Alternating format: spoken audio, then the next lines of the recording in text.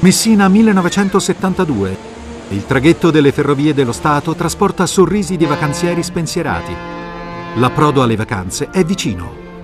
Il tempo di assaggiare un arancino prima di ripartire e raggiungere le più note e rinomate spiagge siciliane. Com'è bello arrivare in Sicilia. Sbarcando a Messina, la città, il porto, le montagne, il cielo, tutto appare ancora più straordinario di come lo si è sognato durante il viaggio. E anche il primo contatto con le strade è un'esperienza felice.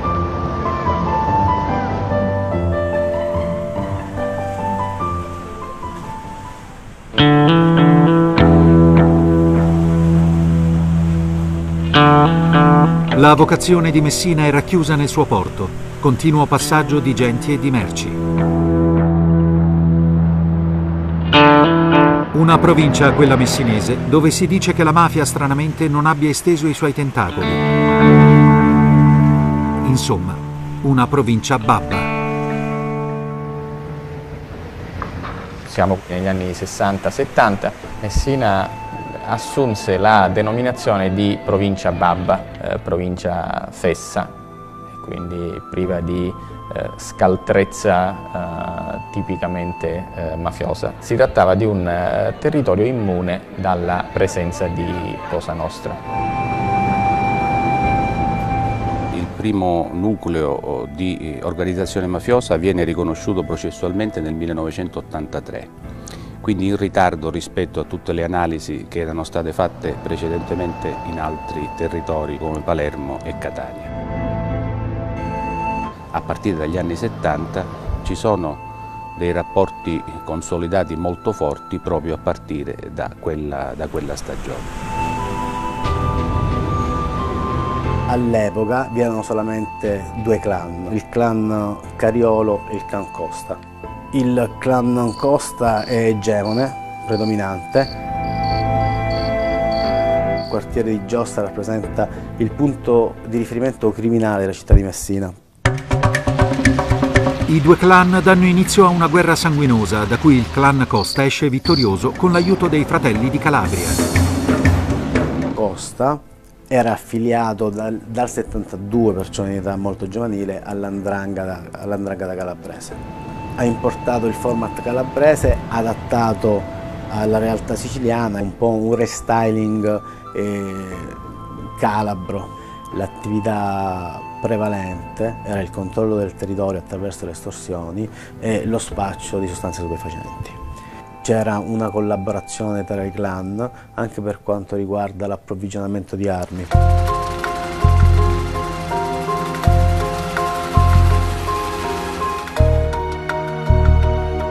Il primo oh, vero rapporto che parla di organizzazioni criminali con una sua struttura, con una sua architrave, viene fatto dai carabinieri proprio a metà degli anni 70 e la parola mafia ancora non era, non era adoperata in questo rapporto. Lì c'è proprio un allarme forte che i carabinieri lanciano, eh, dicono in sostanza guardate che se non prestiamo attenzione a questo fenomeno rischia di diventare endemico e di diventare molto preoccupante. Lo Stato purtroppo non presta attenzione a questo fenomeno perché è concentrato in quel determinato momento storico su Palermo e su Catania. È vero che eh, nella provincia di Messina non ci fossero eserciti mafiosi eh, così ricchi e forti come in altre province, allo stesso tempo era accompagnata da presenze di eh, alto livello mafioso che avevano potuto direttamente accedere alle stanze dei bottoni nel potere legale. Messina continua a vivere come un'isola nell'isola. Lontano dai riflettori, i rapporti criminali si saldano invadendo ogni istituzione. Nell'Ateneo Universitario di Messina, grazie attraverso una serie di protezioni alla borghesia mafiosa cittadina, si sono saldate relazioni tra organizzazioni criminali, pezzi di potere formale, istituzionale e politico, ma soprattutto organizzazioni dell'estrema destra.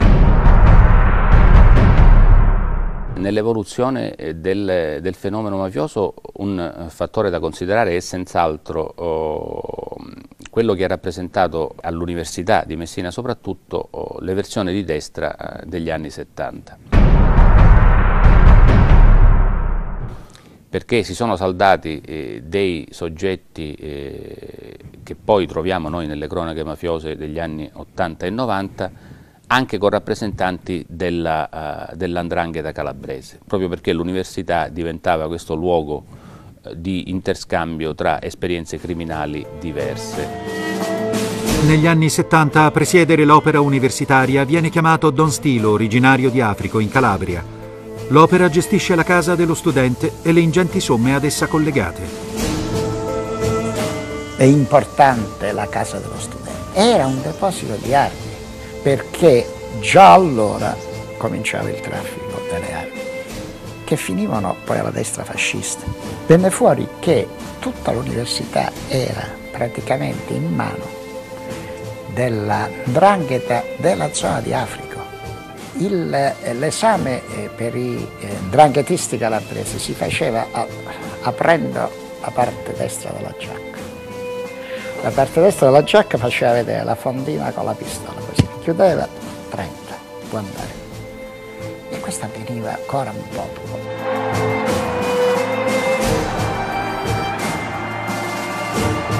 Giovani universitari di destra iniziano ad unire alla militanza politica attività che spesso oltrepassano il limite della legalità. I loro nomi marchieranno la storia di questa provincia e dell'Italia nei decenni futuri. Sono i vari Rosario Cattafi, Pietro Rampulla, Giuseppe Gullotti. Perché se è pur vero che questa città di fatto era stata occupata militarmente eh, dall'Andrangheta e che in una seconda fase inizia a interloquire con le grandi organizzazioni di Cosa Nostra della provincia di Catania e la provincia di Palermo, proprio in quegli anni riesce ad avere quel salto di qualità che gli permette di poi di diventare un asse di congiunzione non soltanto tra le aree, eh, le aree militari le organizzazioni criminali mafiose nazionali, ma soprattutto con pezzi importanti della borghesia sia finanziaria eccetera di questo paese.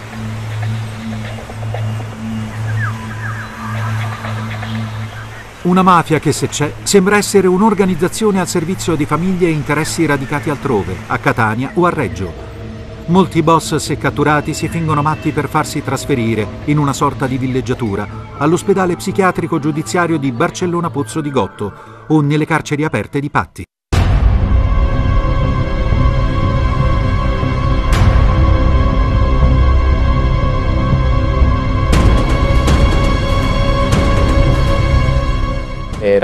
Uno dei luoghi di detenzione privilegiata dei eh, mafiosi che eh, potevano beneficiare eh, di condizioni eh, assolutamente eh, impossibili in altri luoghi di detenzione. Sono eh, realtà processualmente accertata, summit, veri e propri summit di mafia e anche di altre organizzazioni criminali, in particolar modo di camorristi, che si trovavano a Barcellona eh, proprio eh, per eh, da un lato avere contatti con i detenuti e dall'altro nel frattempo ampliare il ventaglio dei loro affari illeciti.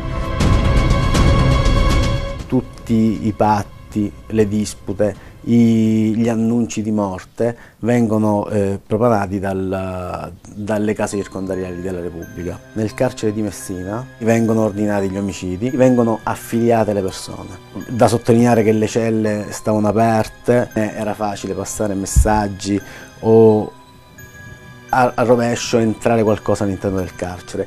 Vari pentiti asseriscono eh, di aver ricevuto all'interno del carcere la possibilità di utilizzare coltelli, alcolici, droghe, anche pistole. All'inizio degli anni Ottanta a Palermo si spara. Si uccidono con fragore esponenti dello Stato, della magistratura e delle forze dell'ordine. A Messina arriva il business. Parecchi anni fa sentii il pentito, allora molto famoso, eh, Sino, soprannominato il ministro dei lavori pubblici eh, della mafia.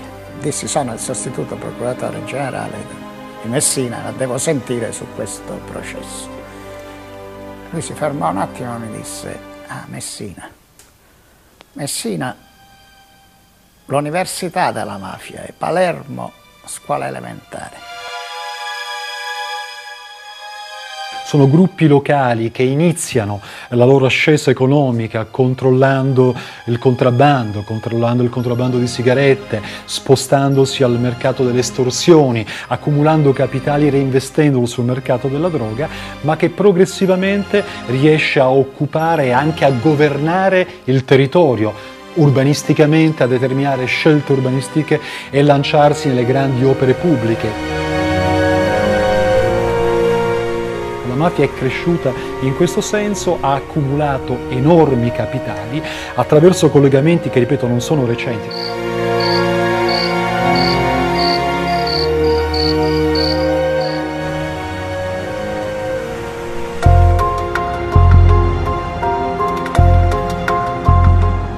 Nel 1985, il 12 dicembre, il meccanismo di rimozione si incrina una storia di spietata crudeltà all'ombra dei pilastri dell'autostrada sconvolge la quiete in cui è tenuta la provincia.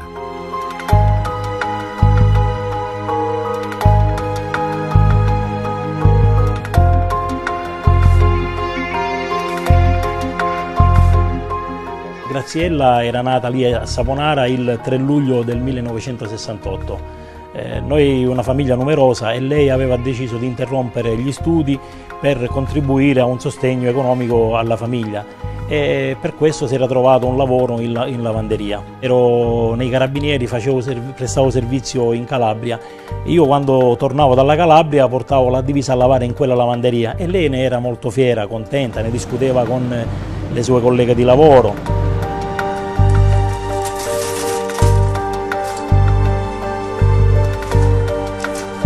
Poi un giorno venne, come io seppi dai miei genitori, è arrivata a casa a fine lavoro e raccontò di aver trovato in una camicia, eh, in un indumento, una, un documento. Un documento riferito a un ingegnere che frequentava Villafranca e assiduamente frequentava la lavanderia, un certo ingegnere Cannata, e riferì ai miei genitori che l'ingegnere non era quella persona ma era un'altra persona. E questo documento le venne strappato dalle mani dalla, dai responsabili della lavanderia.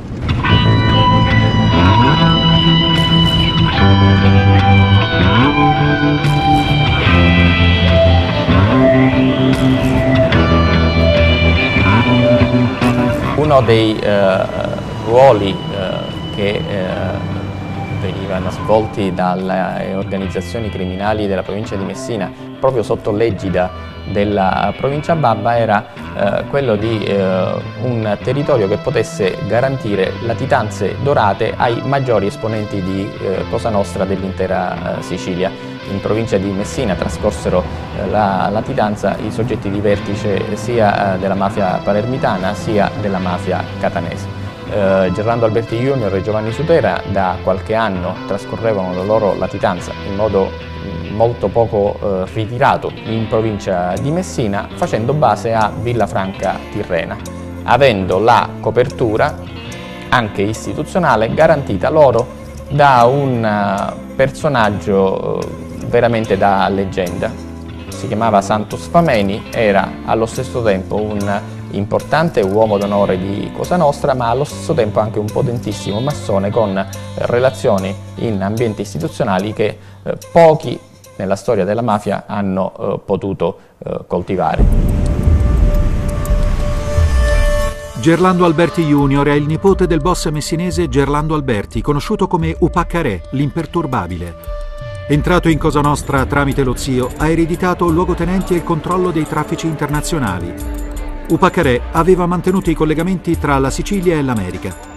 Lui li estende, diventando così uno dei maggiori esponenti della nuova mafia. Gran parte dell'eroina che compare sui mercati clandestini è sotto il suo controllo. Un giro d'affari per molti miliardi che non può essere messo a rischio. Per questo la decisione di eliminare la ragazza.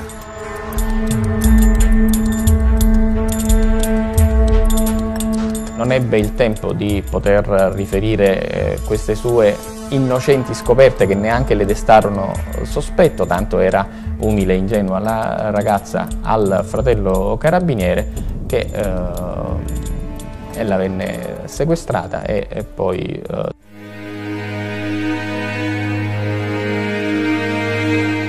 Il giorno 14 mi telefona mio fratello e mi avvisa che Graziella non era rientrata a casa dal giorno 12, era il 14 quando mi ha telefonato. E allora io mi sono preoccupato e sono scappato in Sicilia. All'attesa dell'uscita dell'autostrada di Rometta vi era mio fratello, mio padre e il proprietario della lavanderia, dove mi ha rassicurato che mia sorella si era fatta la fuitina. Però il titolare della lavanderia non mi convinceva perché eh, nominava spesso quel ragazzo che era lui il responsabile, che nascondeva mia sorella. E allora mi fece accompagnare, quando ho avuto un, una discussione con questo ragazzo ho capito che effettivamente non era lui, l'ho pure maltrattato, poverino. I carabinieri partono con le ricerche, si ipotizza la solita fuitina. Pietro non è convinto, da solo in moto cerca sua sorella tra i monti peloritani, non ancora battuti.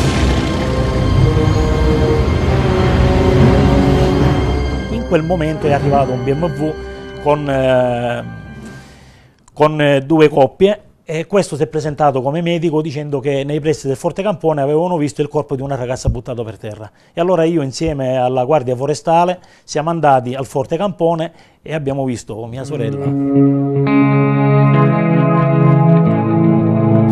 La vicenda di Graziella Campagna è quella che per certi versi eh, descrive eh, meglio eh, l'abiezione che l'organizzazione mafiosa eh, toccò nella provincia di Messina. Immagino mia sorella con quei balordi sulla macchina stretta, perché è stata tratta in inganno. Arrivato a un certo punto la macchina eh, devia, salgono altre persone, la stringono in macchina, un percorso di quasi 15 km, che cosa pensava mia sorella? Aveva una fucilata nella mano, al petto, alla spalla e alla testa.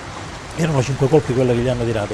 Quanto li ha supplicati e non hanno avuto scrupoli. Dopo il ritrovamento, Pietro Campagna cerca di scoprire la verità tra continui depistaggi e ripetute convocazioni presso il comando dei carabinieri di Messina.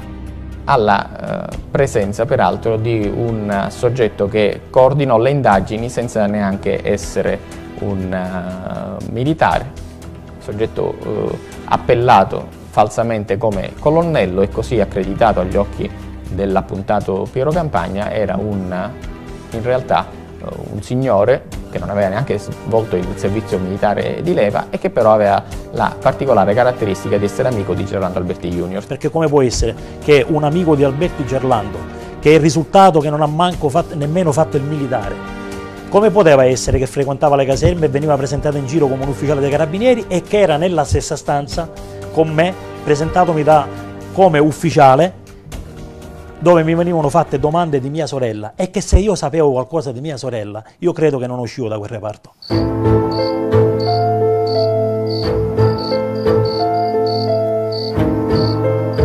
La presenza del nipote di Opacare e la ferocia del delitto testimoniano l'importanza per le famiglie di Cosa Nostra del territorio messinese, dove è facile organizzare e mantenere le latitanze dei maggiori ricercati, si può contare su una stretta rete di omertà e sulla connivenza di strani personaggi che frequentano caserme e partecipano senza alcun titolo alle indagini.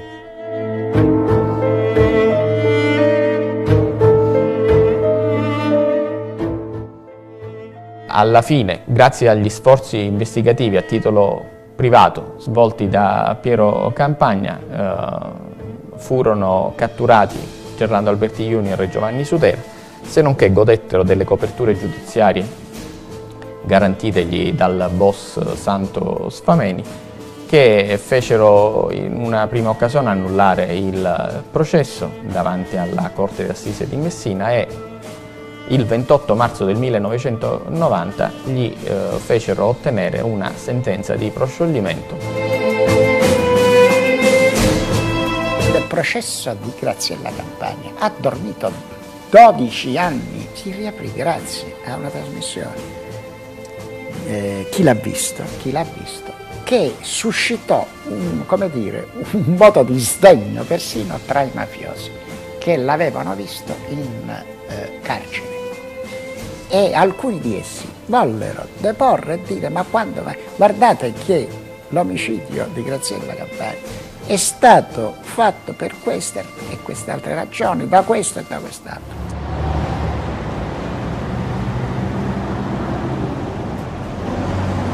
I responsabili della fine di Graziella non hanno mai pagato per questo delitto.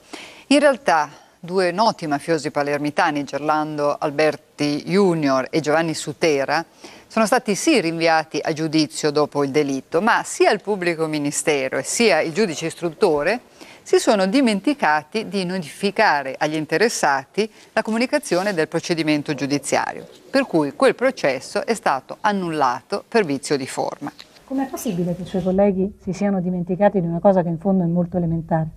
Ma eh, queste cose possono capitare, non, nessuno di noi è, esente da, da, da, da, difetti, quindi un errore del genere può capitare e, ed è prevista anche la possibilità appunto di rilevarlo e, e, quindi di riaprire e, poi un altro procedimento. Di riaprire, eh. Tant'è vero che dopo l'annullamento a lei viene dato l'incarico di fare un'altra istruttoria, certo. a lei in qualità appunto di pubblico ministero. E lei insieme a Mondello, che era invece giudice istruttore, eh, dall'accusa di omicidio per Gerlando Alberti e Giovanni Sutera passate invece ad un proscioglimento per entrambi gli imputati. È così? Sì, esattamente così durante la trasmissione televisiva, chi l'ha visto, ha fatto cenno a un, a un verbale che riguardava l'anno 87, due anni dopo l'omicidio di Graziella, che un collaboratore di giustizia a Reggio Calabria aveva fatto il nome di Alberti Gerlando come responsabile dell'omicidio di Graziella, ma questo verbale agli atti non esisteva. Ci siamo preoccupati di andare a guardare un processo che si sta celebrando appunto in questi giorni, nel quale eh, viene mm, in qualche modo indagato un magistrato noto del Messinese e eh, si parla, diversi collaboratori parlano, eh, di incontri che sarebbero avvenuti in una masseria nella quale appunto erano soliti incontrarsi da una parte alcuni magistrati messinesi e dall'altra mafiosi. Tra questi mafiosi c'è Gerlando Alberti, il quale ricordiamo in quel periodo era latitante. L'interesse era solo di coprire quelli che hanno coperto la latitanza. Questi abitavano vicino alla caserma, se andava a cena in quel ristorante, se egli è stato presentato dal sindaco, se la patente è rimasta per un mese in caserma, che cosa c'era sotto? Il delitto fu determinato dalla necessità assoluta di tutelare la latitanza di importantissimi personaggi mafiosi.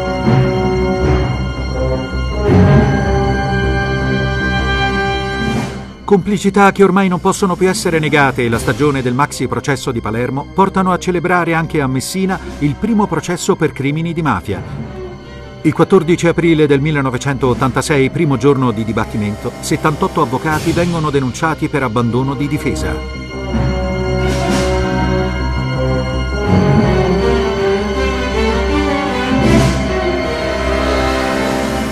Tutti questi gruppi mafiosi come dire, non vogliono essere giudicati, rifiutano intellettualmente il fatto di essere giudicati e di essere sottoposti a, a processo. Questo procedimento si concluderà in maniera che la Procura uh, definisce devastante per la città di Messina, perché riconoscerà il nucleo di associazione mafiosa soltanto a pochissimi imputati e assolverà molti per insufficienza di prove.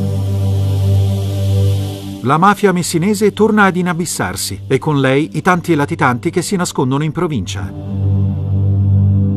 Ne derivò eh, l'insediamento a Barcellona anche di una uh, presenza mafiosa autoctona in un uh, sodalizio mafioso che si uh, ancorò intorno ad alcune figure centrali che hanno i nomi di Gerolamo Petretta, di Francesco Rugolo. Questi soggetti dominarono sia negli affari criminali, sia in società, sia perfino nelle loro ingerenze politiche. A cavallo tra gli anni 80 e 90 c'è eh, l'irrompere sulla scena tirrenica di eh, Pino Chiofalo che vuole completamente scardinare tutto il vecchio clan dei barcellonesi e vuole inserirsi a pieno titolo nella percezione del pizzo sia per quanto riguarda i lavori del raddoppio ferroviario sia per quanto riguarda i lavori del, dell'autostrada. E quindi questo è un elemento di rottura che crea un'altra cruentissima guerra di mafia sempre a cavallo tra gli anni 80 e 90.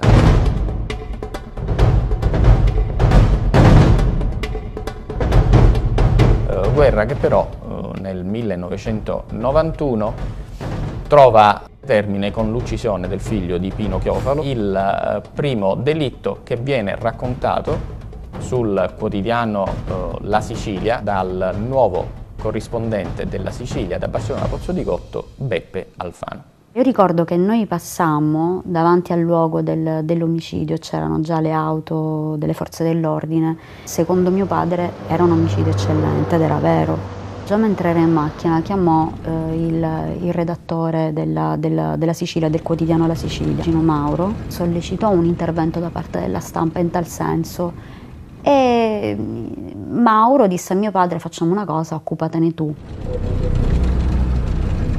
Di quelle famiglie e dei boss che le governano, Beppe Alfano sa molto, conosce i capi ad uno ad uno da tempo. Beppe Alfano era nato nel 1945. Arriva alla età della passione politica alla fine degli anni 60. Beppe Alfano è un appassionato politico di estrema destra e inizia a frequentare l'Università di Messina nella seconda parte degli anni 60 diventa testimone privilegiato dei contatti che eh, intervengono fra esponenti della buona borghesia barcellonese come Rosario Pio Cattafi, da esponenti di Cosa Nostra come Pietro Rampulla,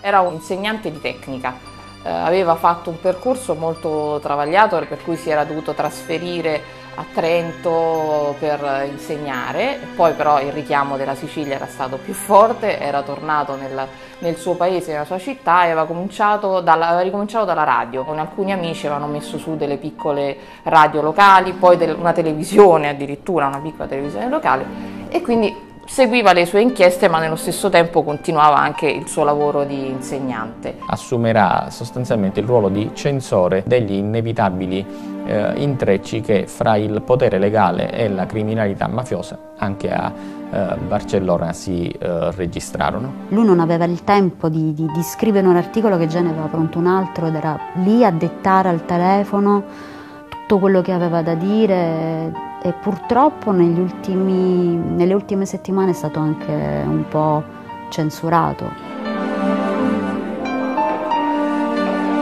Alfano scrive della nuova era iniziata a Barcellona, delle nuove alleanze. Lo fa dopo aver provato a concorrere con una sua lista alle amministrative, ma il nome nuovo appoggiato sia dall'MSI sia dai padrini è l'avvocato Gullotti. L'uomo che eh, divenne il capo dell'ala militare dell'organizzazione mafiosa barcellonese fu Giuseppe Gullotti. Assunse la guida della mafia barcellonese in eh, assoluta sintonia con eh, i desiderata della eh, famiglia mafiosa catanese diretta da mm, Nitto Santa Paola. Fu anzi personalmente Benedetto Santa Paola ad affiliare Gullotti a Cosa Nostra. Insieme a Gullotti a guidare l'organizzazione eh, mafiosa sarà un altro eh, personaggio di rilievo eh, ancora superiore a, a Gullotti, cioè Rosario Pio Cattafi. Mentre la mafia barcellonese si candida con i suoi uomini ombra a divenire un'interlocutrice nel grande giro degli affari nazionali, Beppe Alfano continua a tenere alta l'attenzione sui traffici nella Sicilia orientale, a riannodarne i fili prima da cittadino che da giornalista. Da allora ha cominciato a scrivere, a raccontare tutto, ma di tutto, uh, dal piano regolatore di Barcellona, allo scandalo dell'USL 41 Nord di Messina, le famiglie mafiose che si ammazzavano, eh, lo scandalo dell'AIAS, eh, sotto il silenzio del, dei riflettori nazionali. Quindi lui aveva notato che c'erano queste situazioni in cui convivevano varie realtà, come appunto l'AIAS che doveva aiutare i bambini disabili e invece erano diventate delle grandi dei carrozzoni all'interno dei quali entravano figli, parenti, nipoti, mentre i dipendenti non ricevevano in contemporanea gli stipendi, venivano lasciati a casa.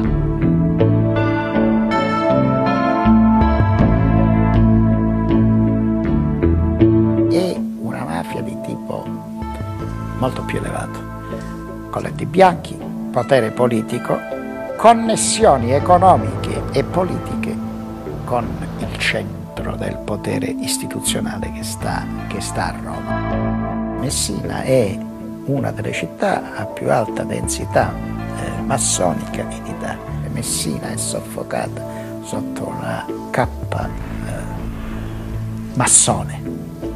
Rispetto alle logge massoniche, per lui era diventata veramente un'ossessione. Questa provincia, oltre alle logge massoniche formali, ufficiali, eccetera, è ricca di associazioni culturali, sociali, eccetera, che hanno avuto un ruolo paramassonico, cioè luoghi fisici dove è stato possibile tranquillamente, anche alla luce del sole, costruire relazioni politiche, relazioni economiche, relazioni sociali tra soggetti che incompatibilmente potevano stare insieme, magistrati, avvocati, cioè imprenditori, gruppi economici e anche leader di organizzazioni criminali mafiose. È un altro tipo di mafia. Fra i massoni ovviamente c'è gente per benissimo, ma si utilizza questa organizzazione per infiltrarsi e per eh, connettersi. Tentacoli e uomini di questa mafia arrivano nel 1992 a partecipare come protagonisti al più grande attacco criminale compiuto nei confronti dello Stato e della legalità.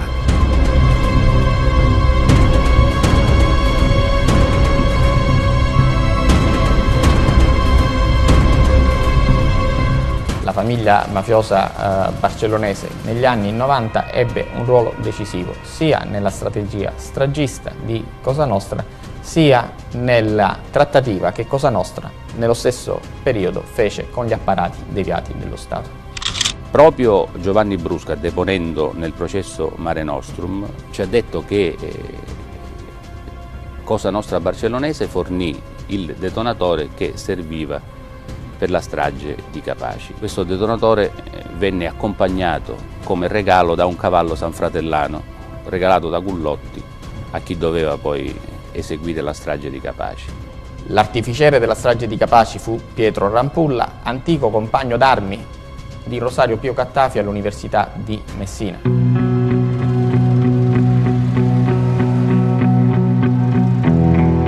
Dopo quell'estate di sangue che vede come protagonisti i soliti vecchi compagni universitari, arrivano per Alfano le minacce. Le inchieste che ha portato avanti danno molto fastidio.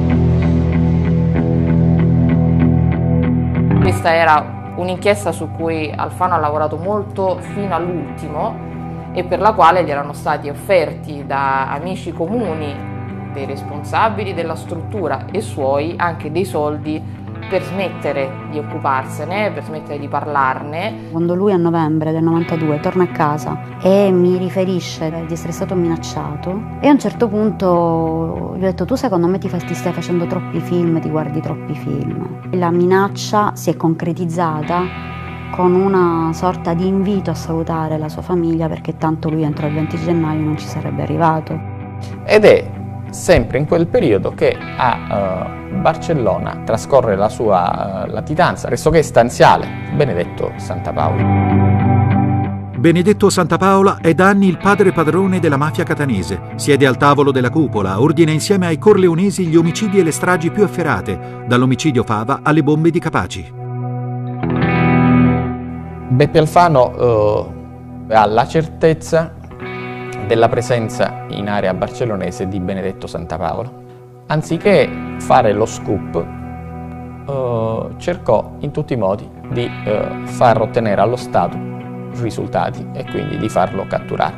La conseguenza fu che i eh, primi destinatari delle sue confidenze furono il magistrato eh, principe della Procura della Repubblica, Olindo Canali, ma le eh, fece anche a esponenti dell'arma dei carabinieri. Qualche settimana prima della sua morte io entrai nel soggiorno di casa nostra e ho visto che lui era in piedi, stava guardando praticamente fuori dalla, dietro, dietro i vetri e quando ho acceso la luce lui mi ha rimproverato, spegni subito, spegni subito. Pare che avesse cominciato a osservare proprio dalla finestra eh, di casa dei movimenti eh, particolari, delle accensioni di, luci, del, all'interno di un appartamento di fronte e lui era convinto che in quell'appartamento si nascondesse Nitto Santa Paola. E ho detto che cosa pensi? Diciamo questi si riuniscono probabilmente in una, è una loggia massonica, si riuniscono tutti i venerdì e si riuniscono dopo le 22. Ancora pochi giorni e l'8 gennaio tutto si compie. L'8 gennaio del 1993 eh, Beppe Alfano stava tornando a casa dopo essere andata a mh, mm, prelevare alla stazione la moglie che eh, tornava in treno dall'ospedale di Patti dove eh, al tempo lavorava. Tornato a casa, eh, avviata la moglie al portone, la sua attenzione fu presa eh, da qualcosa. Quando io sono andata incontro a mia madre, mia madre mi ha detto guarda noi stavamo entrando a casa. Papà si è girato, ha visto qualcuno, mi ha detto di, di, entrare dentro, di chiuderci dentro, cosa che mio papà non aveva mai detto, ed è immediatamente ripartito.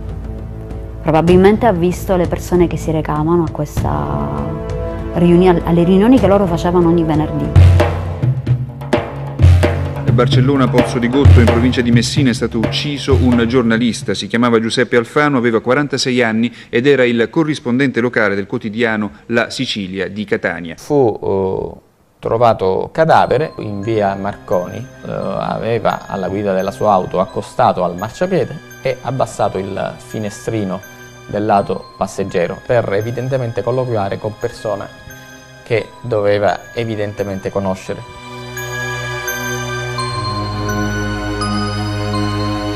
Un'esecuzione strana, una calibro 22. E sappiamo che la calibro 22 è stata usata da Cosa Nostra per depistare, perché la calibro 22 viene considerata come una pistola da borsetta, quindi una pistola da donna, quindi delitto passionale.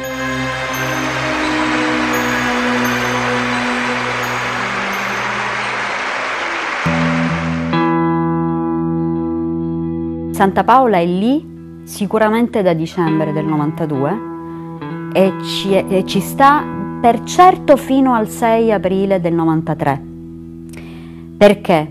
Perché c'è un'intercettazione appunto del Ross eh, e questa intercettazione racconta, anzi sente, di un dialogo a tre tra un, un autotrasportatore barcellonese, il figlio, e, è un certo zio Filippo. A un certo punto lo zio Filippo saluta e orifici padre dice al figlio se ti dico una cosa te la devi tenere per te, siediti. E il figlio dice che cosa? Lo sai chi è lo zio Filippo? Fa lo zio Filippo. No, lo zio Filippo è Nitto Santa Paola. Fatto è che le intercettazioni a inizio di maggio del 1993 furono sottratte al fascicolo e eh, in contemporanea comparvero invece le dichiarazioni di un pentito, Maurizio Bonaceto. Sulle sue dichiarazioni fu individuato anche l'esecutore materiale del eh, delitto nella eh, persona di Antonino Merlino. E diciamo cronaca abbastanza recente che uh, un nuovo pentito di notevole rango della mafia barcellonese, Carmelo eh, D'Amico, ha indicato alla DDA di Messina quale killer di Alfano, altro mafioso,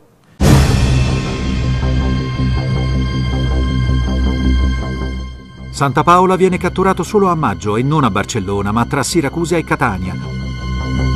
Il territorio messinese serve che rimanga vergine per ospitare altre latitanze e incontri da mantenere segreti.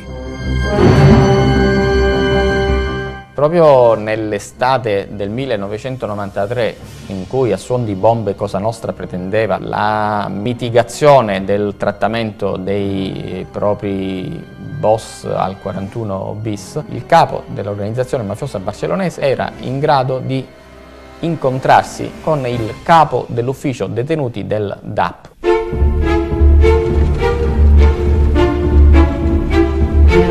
A causa del clamore, una commissione parlamentare si reca a Barcellona. Per la prima volta, nero su bianco, si parla di mafia. Nel corso dell'audizione è risultato che nel territorio di Barcellona opera una criminalità mafiosa. Il fenomeno è ancora caratterizzato da una particolare impenetrabilità determinata da una pluriennale sottovalutazione del fenomeno, da un'altrettanto prolungata nel tempo impunità, dall'inadeguatezza della risposta istituzionale, dal rifiuto delle autorità politiche locali di prendere atto dello stato delle cose. La Commissione Violante certifica con la sua venuta a Barcellona in un certo senso l'esistenza della mafia. Anche lì il problema è sempre uno. C'è una reale consistenza delle organizzazioni mafiose, c'è la totale assenza di consapevolezza del fenomeno mafioso da parte della società civile.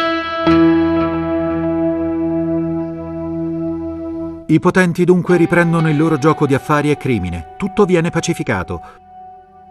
Per cinque anni nulla si pubblica a livello nazionale, fino all'omicidio di un barone universitario.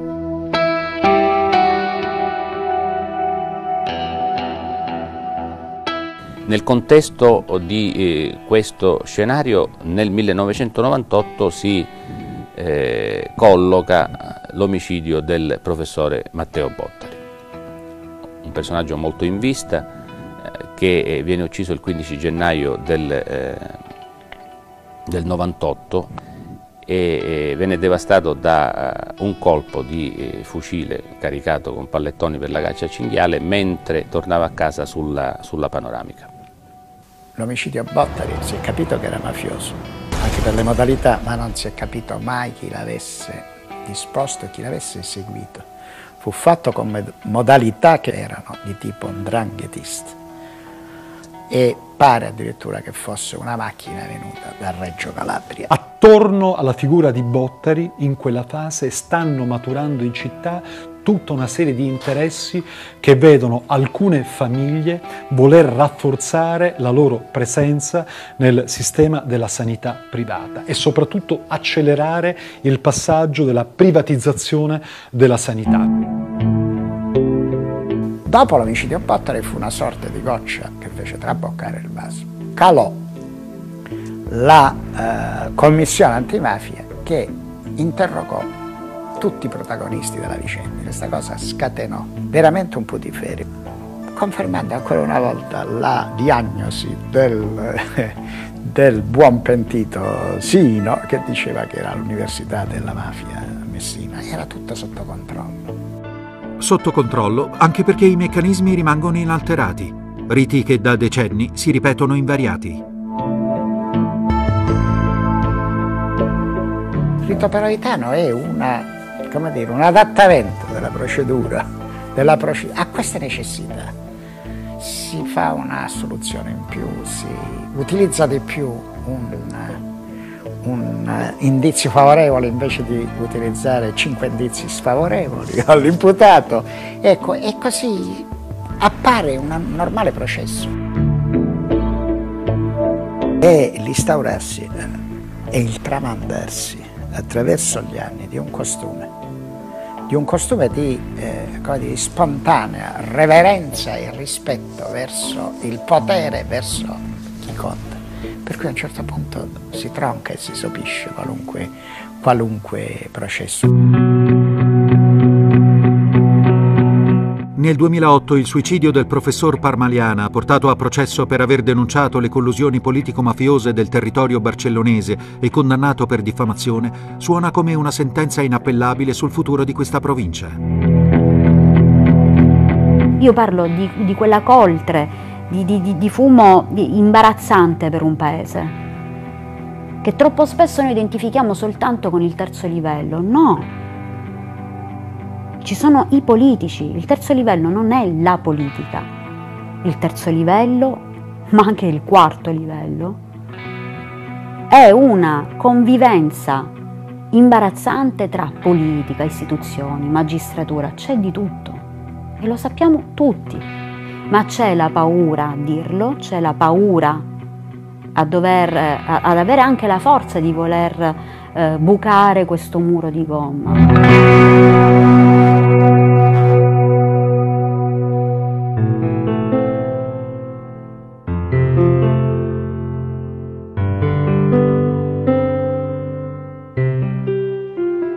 21 marzo 2016 Messina è stata scelta da Libera per celebrare la giornata della memoria e dell'impegno in ricordo delle vittime innocenti di mafia. E un fiume di gente, tra cui tantissimi giovani, ha invaso la... Messina 1972. Il traghetto delle ferrovie dello Stato trasporta sorrisi di vacanzieri spensierati. L'approdo alle vacanze è vicino. Il tempo di assaggiare un arancino prima di ripartire e raggiungere le più note e rinomate spiagge siciliane. Com'è bello arrivare in Sicilia. Sbarcando a Messina, la città, il porto, le montagne, il cielo, tutto appare ancora più straordinario di come lo si è sognato durante il viaggio. E anche il primo contatto con le strade è un'esperienza felice.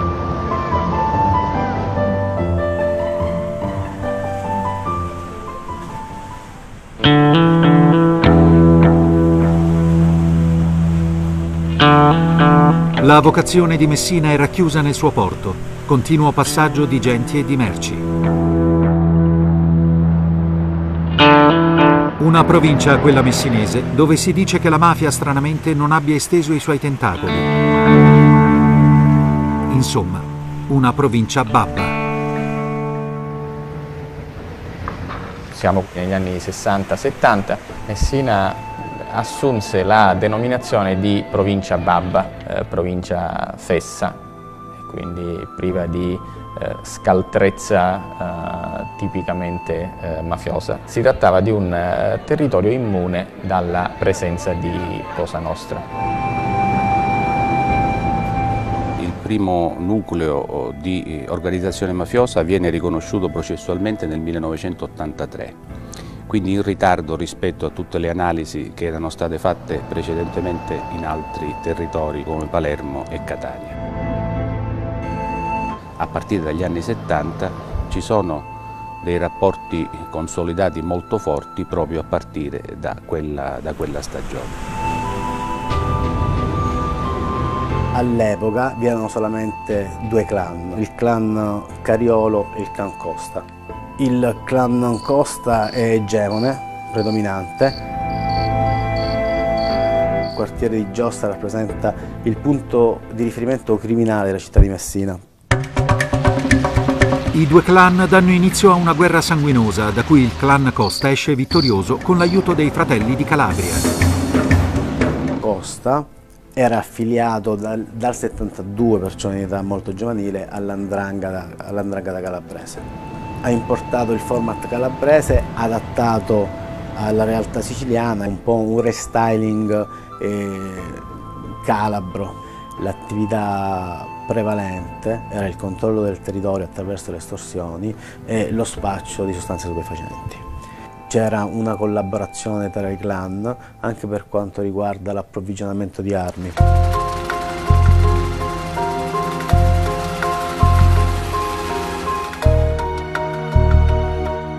primo oh, vero rapporto che parla di organizzazioni criminali con una sua struttura, con una sua architrave, viene fatto dai carabinieri proprio a metà degli anni 70 e la parola mafia ancora non era, non era adoperata in questo rapporto.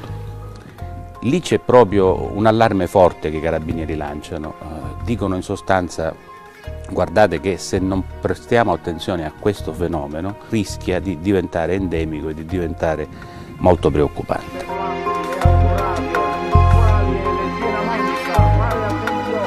Lo Stato purtroppo non presta attenzione a questo fenomeno perché è concentrato in quel determinato momento storico su Palermo e su Catania. È vero che eh, nella provincia di Messina non ci fossero eserciti mafiosi eh, così ricchi e forti come in altre province, allo stesso tempo era accompagnata da presenze di eh, alto livello mafioso che avevano potuto direttamente accedere alle stanze dei bottoni nel potere legale. Messina continua a vivere come un'isola nell'isola. Lontano dai riflettori, i rapporti criminali si saldano invadendo ogni istituzione. Nell'Ateneo Universitario di Messina, grazie attraverso una serie di protezioni alla borghesia mafiosa cittadina, si sono saldate relazioni tra organizzazioni criminali, pezzi di potere formale, istituzionale e politico, ma soprattutto organizzazioni dell'estrema destra. Nell'evoluzione eh, del, del, fenomeno mafioso un eh, fattore da considerare è senz'altro oh, quello che ha rappresentato all'Università di Messina soprattutto oh, le versioni di destra eh, degli anni 70. Perché si sono saldati eh, dei soggetti eh, che poi troviamo noi nelle cronache mafiose degli anni 80 e 90 anche con rappresentanti della, uh, dell'andrangheta calabrese, proprio perché l'università diventava questo luogo di interscambio tra esperienze.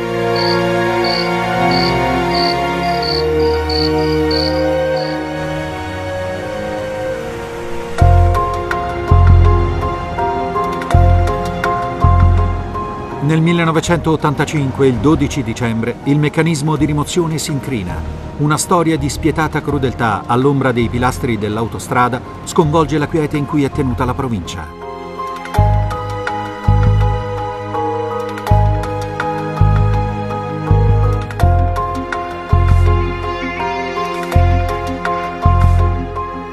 Graziella era nata lì a Saponara il 3 luglio del 1968. Eh, noi una famiglia numerosa e lei aveva deciso di interrompere gli studi per contribuire a un sostegno economico alla famiglia e per questo si era trovato un lavoro in, in lavanderia. Ero nei carabinieri, serv prestavo servizio in Calabria io quando tornavo dalla Calabria portavo la divisa a lavare in quella lavanderia e lei ne era molto fiera, contenta, ne discuteva con le sue colleghe di lavoro.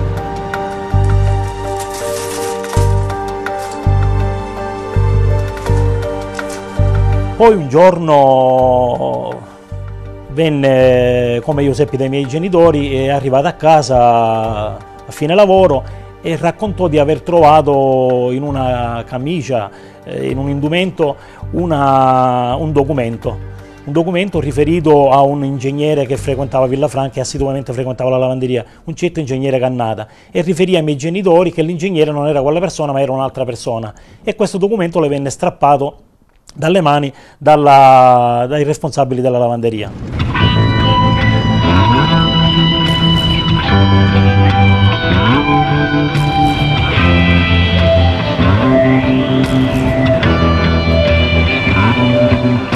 Uno dei eh, ruoli eh, che eh, venivano svolti dalle organizzazioni criminali della provincia di Messina proprio sotto l'egida della provincia Babba era eh, quello di eh, un territorio che potesse garantire latitanze dorate ai maggiori esponenti di eh, Cosa Nostra dell'intera eh, Sicilia.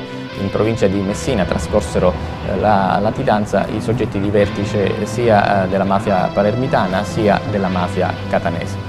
Gerlando Alberti Junior e Giovanni Sutera da qualche anno trascorrevano la loro latitanza in modo molto poco eh, ritirato in provincia di Messina di detenzione. Sono eh, realtà eh, processualmente accertata, summit, veri e propri summit di mafia eh, e anche di altre organizzazioni criminali, in particolar modo di camorristi, ehm, che si trovavano a Barcellona eh, proprio eh, per da un lato avere contatti con i detenuti e dall'altro eh, nel frattempo ampliare il ventaglio dei loro eh, affari illeciti.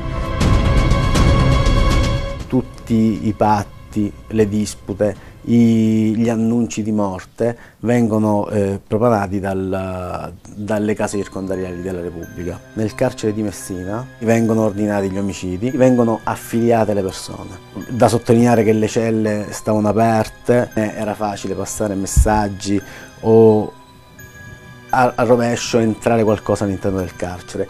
Vari pentiti asseriscono eh, di aver ricevuto all'interno del carcere la possibilità di utilizzare coltelli, alcolici, droghe, anche pistole.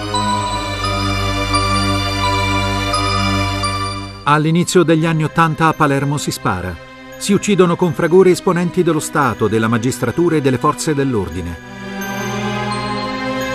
A Messina arriva il business. Parecchi anni fa sentii il pentito, allora molto famoso, eh, Sino, soprannominato il ministro dei lavori pubblici eh, della mafia. Dissi sono il sostituto procuratore generale di Messina, la devo sentire su questo processo. Lui si fermò un attimo e mi disse, ah Messina, Messina, l'università della mafia e Palermo, scuola elementare. Sono gruppi locali che iniziano la loro ascesa economica controllando il contrabbando, controllando il contrabbando di sigarette, spostandosi al mercato delle estorsioni, accumulando capitali e reinvestendolo sul mercato della droga, ma che progressivamente riesce a occupare e anche a governare il territorio urbanisticamente, a determinare scelte urbanistiche e lanciarsi nelle grandi opere pubbliche. Mafia è cresciuta in questo senso, ha accumulato enormi capitali attraverso collegamenti che, ripeto, non sono reti criminali diverse. Negli anni 70 a presiedere l'opera universitaria viene chiamato Don Stilo, originario di Africo, in Calabria. L'opera gestisce la casa dello studente e le ingenti somme ad essa collegate. È importante la casa dello studente. Era un deposito di armi perché già allora cominciava il traffico delle armi, che finivano poi alla destra fascista. Venne fuori che tutta l'università era praticamente in mano della drangheta della zona di Africa. L'esame eh, per i eh, dranghetisti calabresi si faceva aprendo la parte destra della giacca. La parte destra della giacca faceva vedere la fondina con la pistola, così chiudeva, 30, può andare questo avveniva ancora un po'.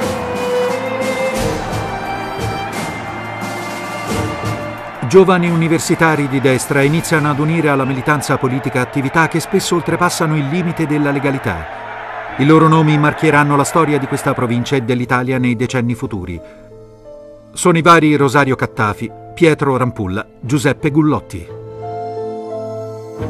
Perché se è pur vero che questa città di fatto era stata occupata militarmente eh, dall'andrangheta e che in una seconda fase inizia a interloquire con le grandi organizzazioni di Cosa Nostra della provincia di Catania e della provincia di Palermo, proprio in quegli anni riesce ad avere quel salto di qualità che gli permette di poi di diventare un asse di congiunzione non soltanto tra le aree, eh, le aree militari, le organizzazioni criminali mafiose nazionali, ma soprattutto con pezzi importanti della borghesia sia finanziaria eccetera di questo paese.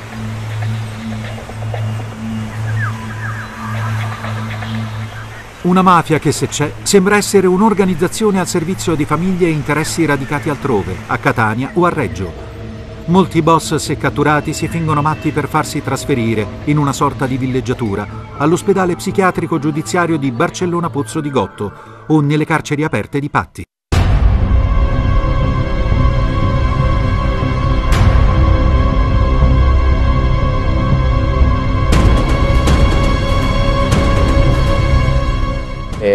Uno dei luoghi di detenzione privilegiata dei eh, mafiosi che eh, potevano beneficiare eh, di condizioni eh, assolutamente eh, impossibili in altri luoghi.